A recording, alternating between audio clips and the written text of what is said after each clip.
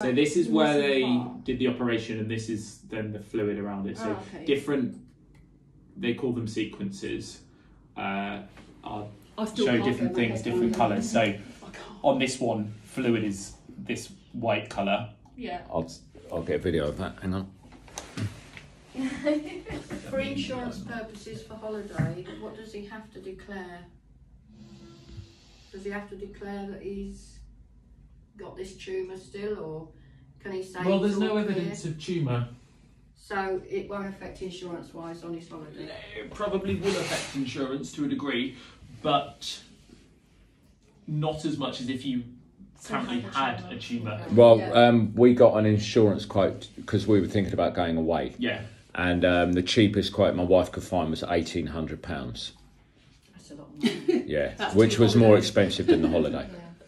So it's this kind of slightly different colour, Yeah. which is right on the edge of the cavity at the bottom of where Could the that be brain is. scar Yeah. tissue? So that's what That's that's the you can't area say which what it might be that five percent, or it might be the, the scar reaction of the Yeah, normal yeah. brain Yeah. because Um, it's do you- right where. Do you think Areas. if my tumour does grow back, is there another operation I can have or anything? So it that always depends on exactly what comes back and where it comes back. Right, okay. would for anyone whose tumour comes back, we would always discuss it in the meeting with the Yeah. surgeons to Yeah. see if that is Yeah.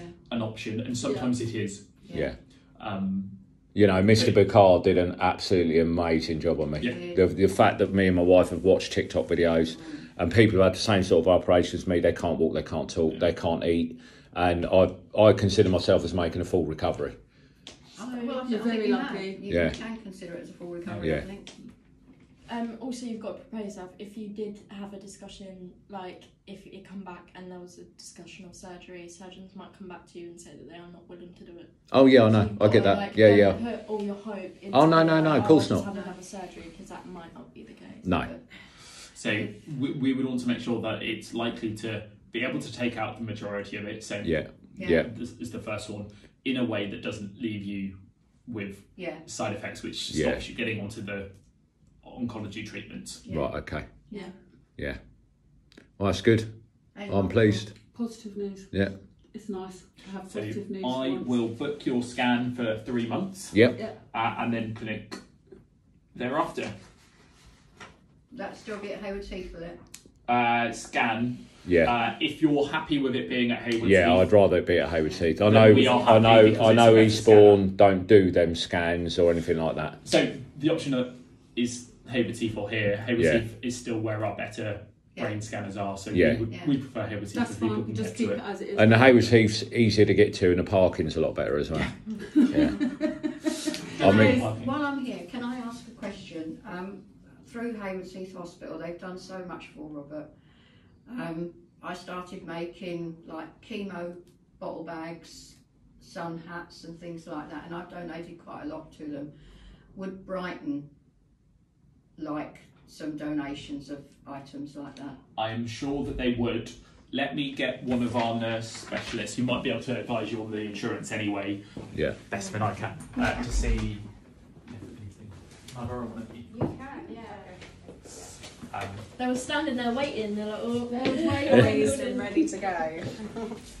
so two Do questions. you want to sit here? No, no, sure. First one is insurance. Travel insurance. Yeah. Yeah. We're saying that there's no evidence of disease at present, Okay. um, and that we're going to go on to surveillance and hold Yeah. over therapy.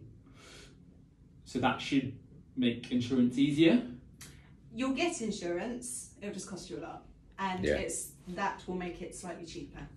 Right. Okay. So So, that if that's written in the letter, Yes, good say, can we have a letter? Yeah. it Yeah, will yeah, just yeah, it'll go in my but clinic. It will it. still probably cost you almost as much as the holiday. Hmm, I know. I. Well, last time we, my wife looked for insurance, sh the cheapest one she could find was eighteen hundred quid, Yeah. Which like was more than the holiday, Yeah. and that's why we just didn't go. unfortunately that sounds. Right. Okay. So there's no chance the insurance going down then. It is Maybe what by a is. couple hundred. Who knows? the other, the only thing to say on that is that cu- you are now in a situation where hopefully the risk of something going wrong It's sim. is lower. Yeah. Mm, Just It is more expensive if you're on treatment, for example. Oh yeah, you're because I was ba- smack bang in the middle of treatment, Yeah. so Yeah. that's why it was what the price was. But now, Yeah, yeah. It te- should- is, it is the should be treatment like that. technically over yes. Yeah. Right. Yeah, Okay. so he, we, we did take a short flight to Scotland Yeah. to see how it'd be on the plane with the air pressure and stuff like that. Perfect. And the, the um, reason we went to Edinburgh is because I know if there was a problem, I'd be covered under the NHS. So I didn't need health insurance. And you could have got the train back if you couldn't fly. Yeah, yeah, yeah. Yeah, it should be, now you're off treatment, it'll be cheaper, but it'll still be Expensive. eye watering. Yeah, yeah, yeah. Okay. But you will get it. Right, brilliant.